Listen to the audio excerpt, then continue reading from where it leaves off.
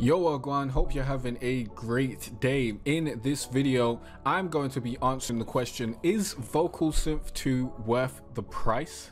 Hmm, you'll know by the end of this video, I'll be showing you some examples of vocal synth in action. I'll be showing you how you can use it in your own music and how it can be used basically walking through the different modules and giving you an overview of how it works okay? So if you don't know who i am i'm jay cartere from jaycartere.com teaching you how to be better at music online business and online marketing. This is the number one spot for musicians and creatives that don't want to be starving artists. So if that sounds like you click that subscribe button check out the rest of the content on the channel because you will love it here guaranteed.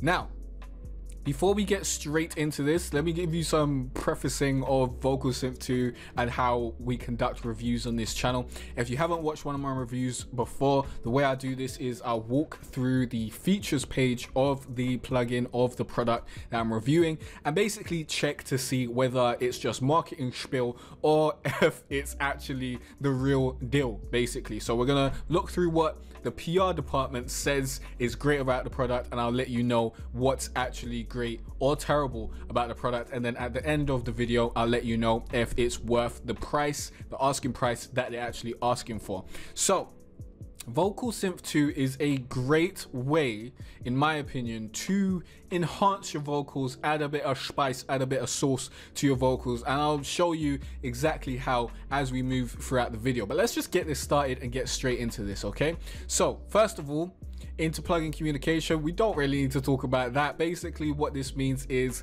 this plugin will work with other iZotope plugins. So if you've got other iZotope plugins this will work with it. And it tells you the plugins that this will work with. Neutron 3 visual mixer ozone 8 tonal balance control insight 2 relay and nectar 3 great stuff okay? I personally do not use any of that for inter plugin communication whatsoever. I just use Vocal Synth by itself.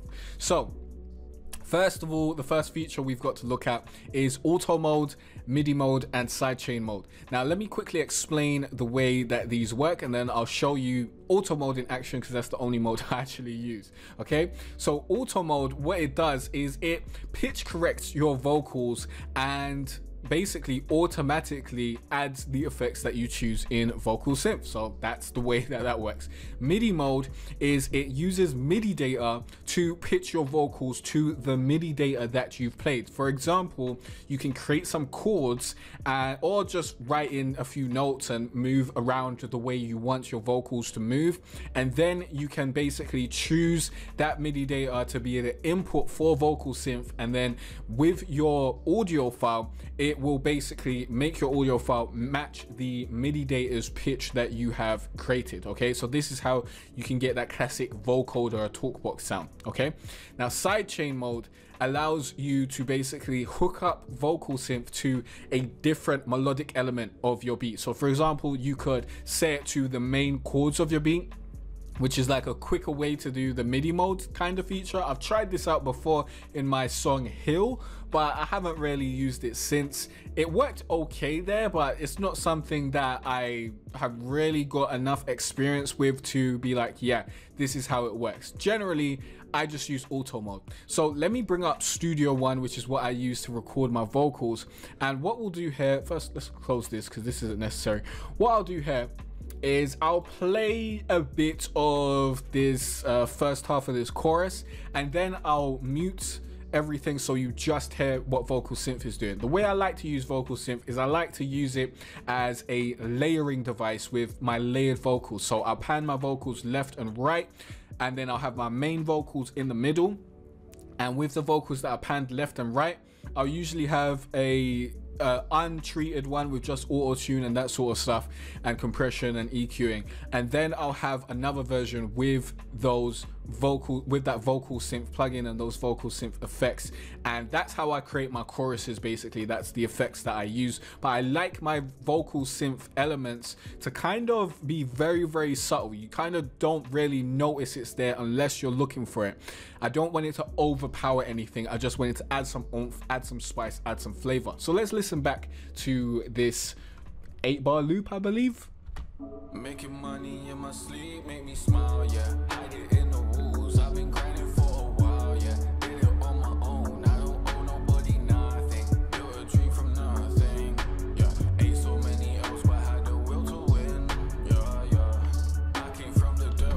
So that is, I think that was like actually four bars, but that is our main vocals with our vocals panned right and left without vocal synth on it and then with a vocal synth panned right and left okay? So now what i'm to do is i'm to single out our vocal synth channels. So let's do that right now and then we'll play this back so you can kind of hear what vocal synth is doing and what effects i'm using.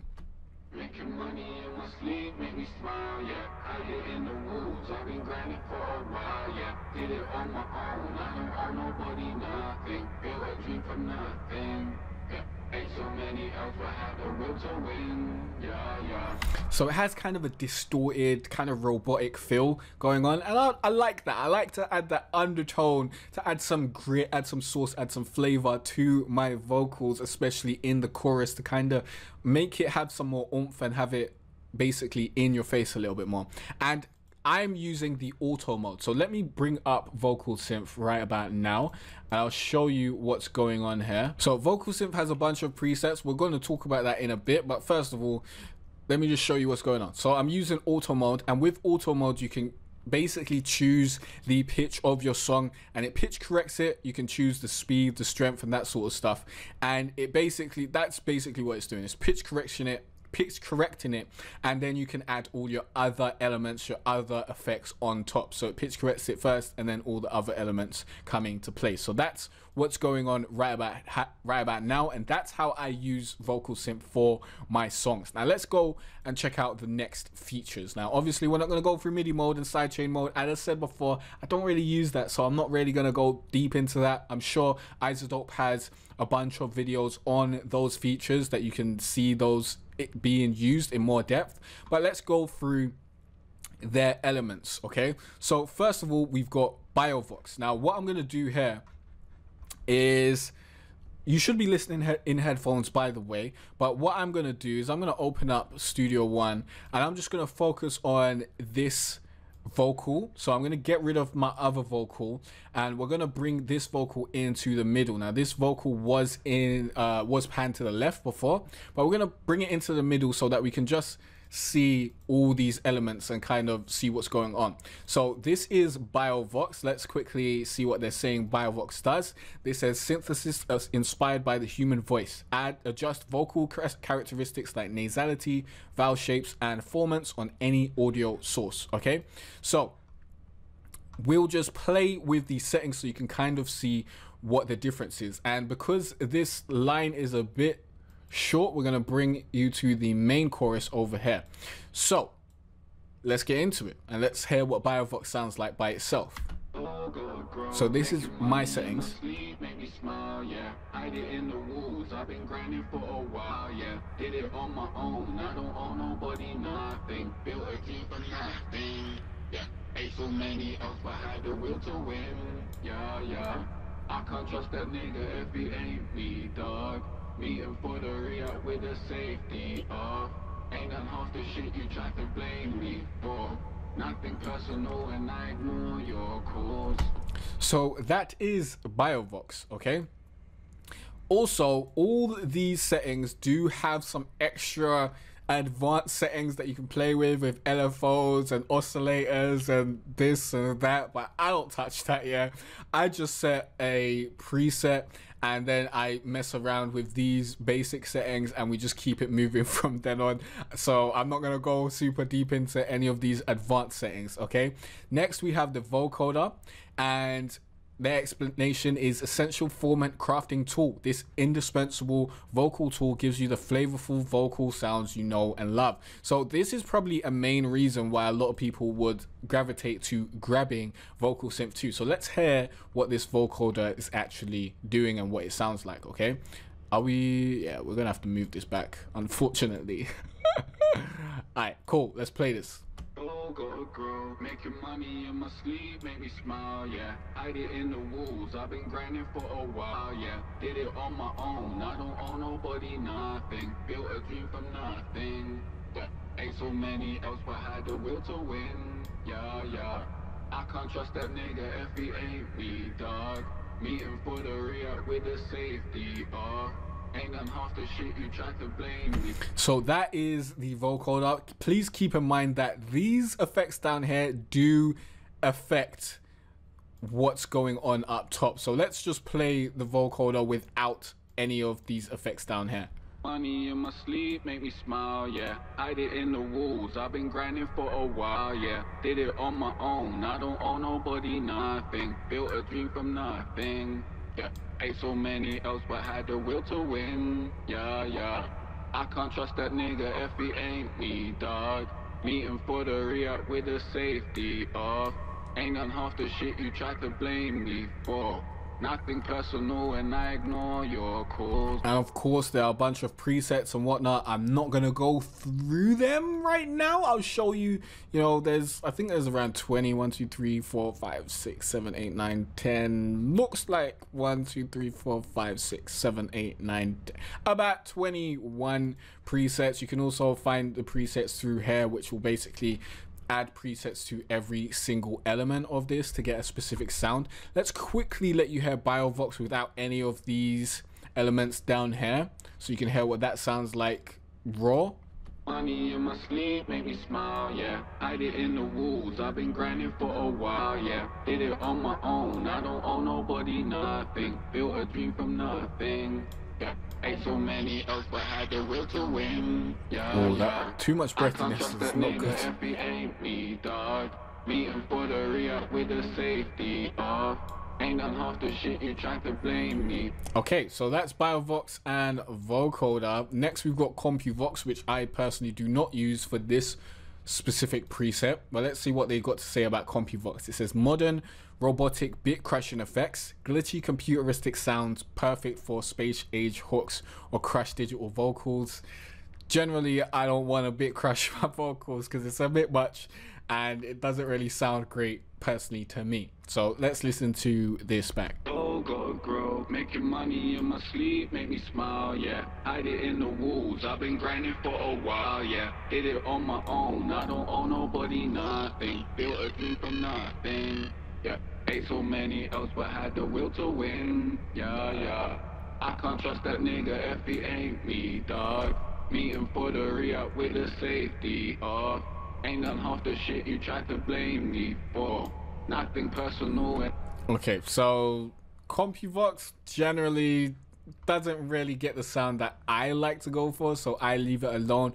Vocoder is nice. Biovox is cool as well. It gives you a nice ambiance, a nice different type of sound that basically just adds a little bit more oomph to your vocals. Talkbox, let's see what they got to say about Talkbox.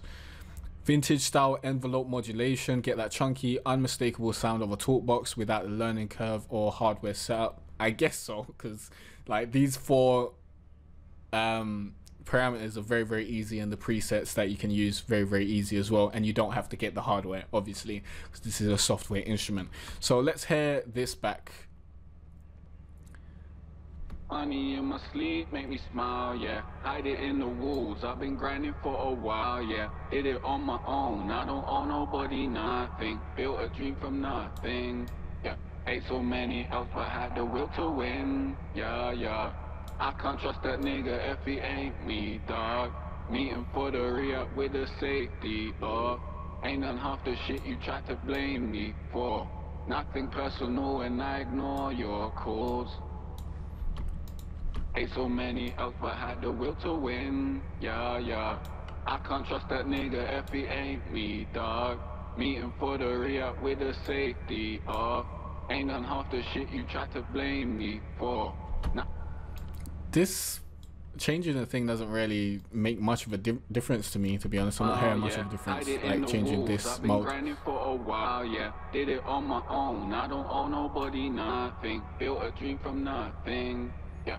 Ate so many else, but had the will to win. Yeah, yeah. I can't trust that nigga if he ain't me, dog. Meeting for the re-up with the safety off. Ain't done half the shit you try to blame me for. It seems like the drive, the more you push the drive up and the speaker up, the more you get that like talk box sound effect. I don't even remember where this setting was at, so I can't even get back to where I had it. Oh no, please don't crash on me. Please don't crash. Vocal synth, by the way, uses a lot, a lot of CPU. In Studio One, it's pretty fine, but if you're trying to use this in FL Studio, it might give you some trouble. So just keep that in mind using a lot of CPU. You're gonna need to turn a bunch of other stuff off, and you're gonna need to bounce out that audio, especially if you're trying to record your vocals in FL Studio. However, in Studio One, it pretty much is fine generally, but you might still need to bounce down your audio to just keep everything smooth and running perfectly. So let's see what they're saying for Polyvox. Instant fullness and character control. Create rich or create beautiful, rich harmonies or add body to your vocal with realistic doubles. Okay, so let's check this out. Money in my sleep make me smile, yeah. Hide it in the walls. I've been grinding for a while, yeah. Did it on my own. I don't owe nobody nothing. Built a dream from nothing, yeah. Ate so many else, but had the will to win, yeah, yeah. I can't trust that nigga if he ain't me, dog. Meeting for the re with the safety off. Ain't none half the shit you tried to. Okay, so that's basically that. Remember, I do have an EQ set up after this vocal synth just to take out a lot of those frequencies which I just don't like. Um, but let's walk through a few of the presets. Polyvox does add a little bit of um, what's it called? They, they do add some harmonies and whatnot. Honestly, not as much harmony as I would have liked from this specific module. You get more harmonies if you use Nectar 3 and you use the what's what's the thing called? I'm not even sure. But there's there's some module where you can add a bunch of voices. Let's actually quickly go to Nectar 3 so you can see what I'm talking about so I can find it for you. Make sure you know what's going on. So in Nectar 3, if we go to Harmony, of course, go to Harmony. Harmony is better in Nectar 3 than it is with this vocal synth stuff. Like the vocal synth poly, what's it called? Poly, Polyvox is cool, but it's not as good as Nectar 3's Harmony thing because you can add different voices and you can change where those voices are actually at, how they sound, what pitch they are, and that sort of stuff with Nectar 3. You can't really do that in Polyvox here. Like it does add a slight variation in the vocals. Like you can hear that higher tone, but it just sounds like there's only one of them. It doesn't sound like there's a bunch of them, which is what I kind of expected with the Polyvox. Okay, so now they've got a bunch of exclusive preset packs and whatnot. Let's quickly look through a few presets. Let's try Bad Robot. Wow, that is super low. Pretty much can't even hear that. Win, yeah, yeah. I can't trust that nigga if he ain't me, dog. Meeting for the re-up with the safety off. Ain't done half the shit you tried to blame me for. Nothing personal and that. That actually sounds pretty cool with Polyvox. Oh, that sounds very nice me in my sleep, make me smile, yeah. Hide it in the walls, I've been grinding for a while, yeah. Did it on my own, I don't owe nobody nothing. Built a dream from nothing, yeah. Extra substance. Ain't so many else, but had the will to win, yeah, yeah. Yeah. I can't trust that nigga if he ain't me, dog. Meeting for the real with the safety off. That sounds pretty cool as well. Let's see what the lush ones are saying. Falling in deeper, maybe? Too much harmonic. Yeah, that sounds pretty cool.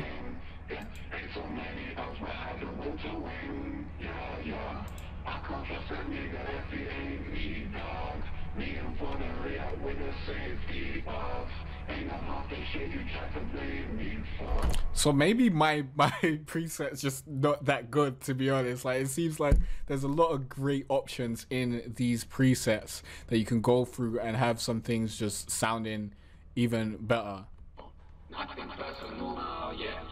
and a lot of things that sound completely terrible. Not for me, not for me. but there are some great stuff in there. I, I wouldn't use anything in edgy. Probably if we go to classic, we try for the chorus. Oh wow, yeah, did it on my own. I don't owe nobody nothing. Built a dream from nothing. Yeah, ain't so many else, but had the will to win. Yeah, yeah. I think I used one. I used one of the clears. I used added texture, and then I just edited stuff. I can't trust that nigga if he ain't me, dog. Meeting for the re-up with the But for the chorus, sounds pretty nice. safety off. Ain't done half the Sounds shit you wider. to blame me for. Nothing personal. Oh yeah, hide it in the walls. On the drive? grinding For a while, yeah. Did it on my own. I don't want nobody. That sounds super vocoder. Honey in my sleep, make me smile, yeah. Hide it in the walls. I've been grinding for a while, yeah. Did it on my own. I don't want nobody nothing. Dream from nothing. Yeah, so many else, the will to win. Yeah, yeah. I can't trust that if ain't me, dog. For That sounds really, really nice. I might have to use that later in the song. That sounds really, really nice. I'm actually ex- excited to play around with a bunch of these other presets because I've just been using my same preset for most of my songs, but it's about time for me to try out these other presets and see the other options that I can get from here. It seems like these advanced settings really do make a difference. For let me change this and see what changed. Uh, I can't see what changed because it just changed. Sync saw minus 12 was it over here minus 12 on one of them so things do change but honestly I have no idea because I need to look at everything and, and kind of remember what's going on for me to see what's the actual thing that's changing. But it seems like if you get deeper into these settings, you can actually get that sound exactly how you want it to get. And honestly, I've just been playing with these simple settings, which have given me a little bit of space to maneuver and to try things out, but not as much as I would have if I had really gotten deep into those advanced settings. So that is something to think about. Now, hopefully, throughout this video, everything's been recording correctly.